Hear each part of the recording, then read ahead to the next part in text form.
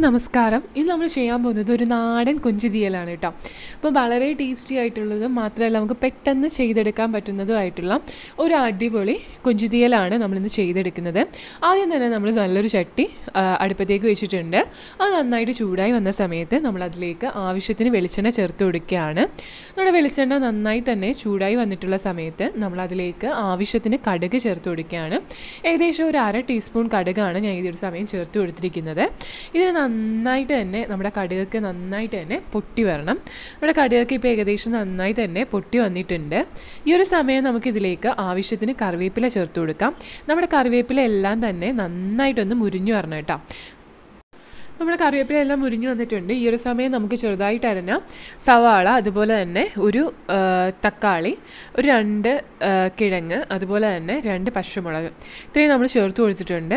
ഏകദേശം ഒരു വലിയ സവാളയും അതുപോലെ തന്നെ രണ്ട് മീഡിയം സൈസുള്ള ഉരുളക്കിഴങ്ങും ഒരു രണ്ട് പച്ചമുളകും ഒരു വലിയ തക്കാളിയാണ് നമ്മൾ ചേർത്ത് കൊടുത്തിരിക്കുന്നത്. ഇത് നന്നായിട്ടൊന്ന് വയറ്റി കൊടുക്കാം. ഈ ഒരു സമയം നമുക്കിതിലേക്ക് കൊഞ്ച് ചേർത്ത് കൊടുക്കാം. ഇപ്പോൾ കുറച്ച് കൊഞ്ച് എടുത്തിട്ടുണ്ട് അതിലേക്ക് ചേർത്ത് കൊടുത്തിട്ടുണ്ട്. അപ്പോൾ നമ്മുടെ കൊഞ്ചും അതുപോലെ തന്നെ നമ്മുടെ കിഴങ്ങും തക്കാളിയും പച്ചമുളകും എല്ലാം നന്നായിട്ടൊന്ന് വയറ്റി കൊടുക്കാം. അപ്പോൾ ഏകദേശം ഇത് നന്നായിട്ട് തന്നെ ഒന്ന് ജസ്റ്റ് ഒന്ന് വയറ്റി എടുത്താൽ മതി കേട്ടോ. നമ്മൾ വെള്ളം ഒഴിച്ചിട്ട് ഇതൊന്ന് വേവിക്കുന്നുണ്ട്. അതുകൊണ്ട് ജസ്റ്റ് ഇതൊന്ന് ആ ഒരു കൊഞ്ചിന്റെയൊക്കെ ഒരു കളറൊക്കെ മാറി വരത്തില്ലേ?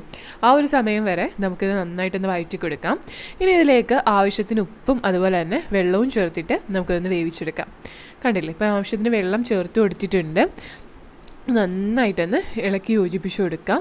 ഇനി നമുക്കിതിലേക്ക് ഒരു കാൽ ടീസ്പൂൺ ഉപ്പും അതുപോലെ തന്നെ ഒരു കാൽ ടീസ്പൂൺ മഞ്ഞൾപ്പൊടിയും കൂടി ചേർത്തിട്ട് നമുക്കിത് നന്നായിട്ടൊന്ന് വേവിച്ചെടുക്കാം. നമ്മുടെ തക്കാളിയും അതുപോലെ തന്നെ ഈ കിഴങ്ങും കൊഞ്ചും എല്ലാം നന്നായിട്ടൊന്ന് വെന്ത് വരണം കേട്ടോ. അപ്പോൾ നമ്മളിങ്ങനെ ചെയ്യുമ്പോഴത്തേക്കും എന്താ നമ്മുടെ കൊഞ്ചിൽ നിന്നൊക്കെയുള്ള ആ ജ്യൂസൊക്കെ ഇറങ്ങിയിട്ട് നമ്മുടെ കറി ഭയങ്കര ടേസ്റ്റ് ആവും. അതായത് നമ്മുടെ ആ ഒരു ഈ ഒരു തീയലിലുള്ള ആ ഒരു കിഴങ്ങൊക്കെ കഴിക്കാൻ തന്നെ ഭയങ്കര ടേസ്റ്റ് ആയിരിക്കും കേട്ടോ. ഇനി നമുക്കത് മൂടി വെച്ചൊന്ന് വേവിച്ചെടുക്കാം. ഈ ഒരു സമയം നമുക്കിതിലേക്ക് ആവശ്യമായിട്ടുള്ള മസാല തയ്യാറാക്കാനായിട്ട് നമുക്ക് തേങ്ങയൊക്കെ ഒന്ന് വറുത്തെടുക്കാം. അതായത് ഞാൻ വേറൊരു പാൻ വെച്ചിട്ടുണ്ട്. അതിലേക്കാണെങ്കിൽ ഒരു അര മുറി തേങ്ങ അതുപോലെ തന്നെ ചെറിയ ഉള്ളി ജീരകം ഇഞ്ചി വെളുത്തുള്ളി കറിവേപ്പില എന്നിവ നമ്മളിതിലേക്ക് ചേർത്ത് കൊടുക്കുകയാണ്. ഏകദേശം ഒരു അരമുറി തേങ്ങയാണ് അരമുറിയല്ല ഒരു കപ്പ് തേങ്ങയാണ് നമ്മളിതിലേക്ക് എടുത്തിരിക്കുന്നത്. മാത്രമല്ല ഒരു മീഡിയം സൈസുള്ള ഇഞ്ചി വെളുത്തുള്ളി ഇഞ്ചിയും അതുപോലെ തന്നെ ഒരു അഞ്ചല്ലി വെളുത്തുള്ളിയും കുറച്ച് കുരുമുളകും അതുപോലെ തന്നെ ആവശ്യത്തിന് കറിവേപ്പിലയും കൂടി നമ്മൾ ചേർത്ത് കൊടുത്തിട്ടുണ്ട്. ഒരു മൂന്ന് ചെറിയ ഉള്ളിയും കൂടി നമ്മൾ ചെറുതായിട്ട് അരിഞ്ഞിട്ടിട്ട് ഇട്ട് കൊടുത്തിട്ടുണ്ട് കേട്ടോ. ഇത് നന്നായിട്ട് ഇതൊന്ന് വറുത്തെടുക്കാം.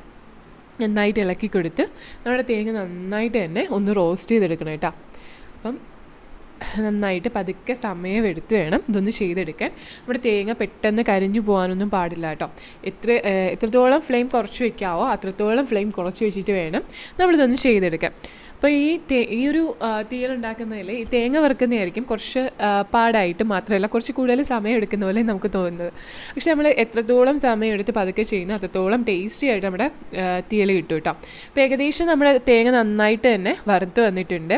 നമ്മുടെ തേങ്ങയും അതുപോലെ തന്നെ എന്താ നമ്മുടെ കറിവേപ്പിലെല്ലാം നന്നായിട്ട് തന്നെ മുരിഞ്ഞു വന്നിട്ടുണ്ട്. ഈ ഒരു സമയം ചെറിയൊരു നാരങ്ങ വലുപ്പത്തിലുള്ള പുളി നമ്മളിതിലേക്ക് ചേർത്ത് കൊടുത്തേക്കുവാണ്. പിഴുപുളിയാണ് നമ്മളിതിലേക്ക് എടുത്തിരിക്കുന്നത്. ഇനി നമുക്ക് നന്നായിട്ട് ഇതൊന്ന് ഇളക്കി യോജിപ്പിച്ച് കൊടുക്കാം. നമുക്ക് ഈ ഒരു സമയത്ത് പുളി ചേർക്കുകയോ അല്ലെങ്കിൽ ലാസ്റ്റ് ചേർക്കുകയോ ചെയ്യാം കേട്ടോ.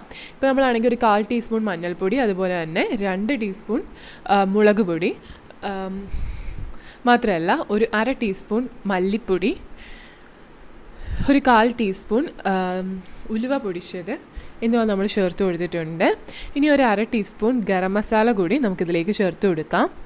ഇനി നന്നായിട്ട് നന്നായിട്ട് ഇതൊന്ന് റോസ്റ്റ് ചെയ്തെടുക്കണം കേട്ടോ. തീ സിമ്മിലിടാൻ മറക്കരുത്. പതുക്കെ ഇതൊന്ന് റോസ്റ്റ് ചെയ്ത് അതിന്റെ ഒരു കളറൊക്കെ ചേഞ്ച് ആവുന്നത് വരെ നമുക്കിതൊന്ന് റോസ്റ്റ് ചെയ്തെടുക്കാം കേട്ടോ. ആ ഒരു പൊടികളുടെയൊക്കെ ഒരു പച്ച സ്മെല്ലുണ്ടല്ലോ ഒരു പച്ചക്കുത്തലുണ്ടല്ലോ അത് മാറുന്നത് വരെ നമുക്കിത് നന്നായിട്ടൊന്ന് ഇളക്കി കൊടുക്കാം. അപ്പോൾ നമ്മൾ എത്രത്തോളം സമയമെടുത്ത് ചെയ്യുന്നോ അത്രത്തോളം ടേസ്റ്റി ആയിട്ട് നമ്മുടെ തീയൽ കിട്ടും കേട്ടോ. ഭയങ്കര ടേസ്റ്റാണ് ഇപ്പോൾ അപ്പത്തിന്റെ കൂടെ ആയാലും പുട്ടിന്റെ കൂടെ ആയാലും ഇവൻ ഷോന്റെ കൂടെ ആയാൽ പോലും ഭയങ്കര ടേസ്റ്റി ആയിട്ടുള്ളൊരു തീയലാണ് കേട്ടോ. കണ്ടില്ലേ? ഇപ്പോൾ നമ്മുടെ പൊടികളെല്ലാം തന്നെ നന്നായിട്ട് തന്നെ റോസ്റ്റായി വരുന്നുണ്ട്. കണ്ടില്ലേ? ഈ ഒരു തീയൽ ഉണ്ടായി കഴിയുമ്പോൾ നല്ലൊരു കളറാണ് കേട്ടോ. അപ്പോൾ നമ്മളിങ്ങനെ വറുത്തരച്ചെടുക്കുന്നതുകൊണ്ട് തന്നെ നല്ലൊരു കളറാണ് അതിന് അനുഭവപ്പെടുന്നത് അപ്പോൾ അടുത്തായിട്ട് നമ്മുടെ നമ്മൾ നേരത്തെ വേവാംശ കിഴങ്ങും അതുപോലെ തന്നെ തക്കാളിയും എല്ലാം നന്നായി തന്നെ വെന്ത് വന്നിട്ടുണ്ട്. അപ്പോൾ കിഴങ്ങൊന്ന് വെന്തോ എന്ന് ചെക്ക് ചെയ്യാം. നമ്മുടെ കിഴങ്ങൊക്കെ നന്നായി തന്നെ വെന്ത് വന്നിട്ടുണ്ട്. നമുക്ക് നന്നായിട്ട് തന്നെ ഇളക്കി യോജിപ്പിച്ച് കൊടുക്കാം. കണ്ടില്ലേ? എല്ലാം തന്നെ കൊഞ്ചും എല്ലാം തന്നെ നന്നായിട്ട് തന്നെ വെന്ത് വന്നിട്ടുണ്ട്. ഈ ഒരു സമയത്താണെങ്കിൽ നമ്മൾ നേരത്തെ വറുത്ത് വെച്ച തേങ്ങ ഒന്ന് പൊടിച്ചെടുക്കാം. ആദ്യം നന്നായിട്ടൊന്ന് പൊടിച്ചെടുക്കണം കേട്ടോ. അപ്പോൾ ഏകദേശം നന്നായിട്ട് തന്നെ നമ്മളിതൊന്ന് പൊടിച്ചെടുത്തിട്ടുണ്ട്. ഇനി അതിലേക്ക് ആവശ്യത്തിന് വെള്ളം ചേർത്ത് കൊടുത്തിട്ട് നല്ല ഫൈൻ പേസ്റ്റായിട്ട് നമുക്കിതൊന്ന് അരച്ചെടുക്കണം. കണ്ടില്ലേ? അപ്പോൾ ആവശ്യത്തിന് വെള്ളം കൂടി ഞാൻ ചേർത്ത് കൊടുത്തിട്ടുണ്ട്. ഇനി നമുക്കിത് നന്നായിട്ടൊന്ന് അരച്ചെടുത്തിട്ട് വരാം. ആ ഇപ്പം നന്നായിട്ട് തന്നെ നമ്മുടെ ആ, അരപ്പ് അരച്ചെടുത്തിട്ടുണ്ട്. കണ്ടില്ലേ? ഇനി നമുക്കിതിലേക്ക് ഇത് ചേർത്ത് കൊടുക്കാം. നല്ലൊരു മസാലയാണ് കേട്ടോ ഇത്. നമ്മൾ വറുത്തരച്ച് ഉണ്ടാക്കുന്ന എല്ലാ റെസിപ്പിക്കും ചെയ്യാൻ പറ്റിയ നല്ലൊരു വറുത്തരച്ചൊരു റെസിപ്പിയാണ് നമ്മളിപ്പം കണ്ടിരിക്കുന്നത്. കണ്ടില്ലേ? പിന്നെ നമുക്ക് ആവശ്യത്തിന് വെള്ളം കൂടി ചേർത്ത് കൊടുക്കാം.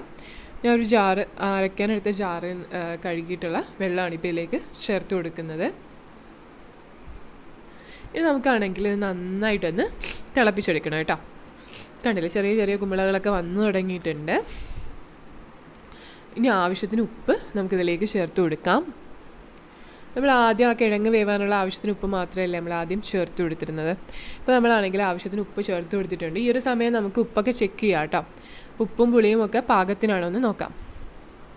മാത്രമല്ല നമ്മൾ ആ ഒരു വറുക്കുന്ന സമയത്ത് പുളി ഇട്ടില്ലെങ്കിൽ പിന്നീട് ഈ ഒരു സമയത്ത് നമ്മൾ പുളി പിഴിഞ്ഞൊഴിച്ചാലും മതി കേട്ടോ ഇനി നമുക്ക് ആവശ്യത്തിന് കറിവേപ്പില കൂടി ഇതിലേക്ക് ചേർത്ത് കൊടുക്കാം. കറിവേപ്പില എല്ലാ സൈഡിലേക്കും ഒന്ന് ഇട്ട് കൊടുക്കാം. ഇനി നമുക്കിത് മൂടി വെച്ച് നന്നായിട്ടൊന്ന് വേവിച്ചെടുക്കാം.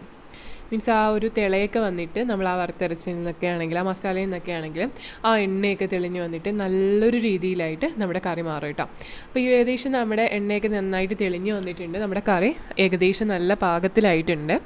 കാണാൻ തന്നെ ഭയങ്കര ഭംഗിയാണ് കേട്ടോ അത് മാത്രമല്ല കഴിക്കാൻ അതിലേറെ ടേസ്റ്റാണ്. അപ്പോൾ എല്ലാവരും ഒന്ന് ട്രൈ ചെയ്ത് നോക്കാം കേട്ടോ നമ്മുടെ കറി ഇവിടെ റെഡിയായി വന്നിട്ടുണ്ട്. നല്ലൊരു നാടൻ റെസിപ്പിയാണ്.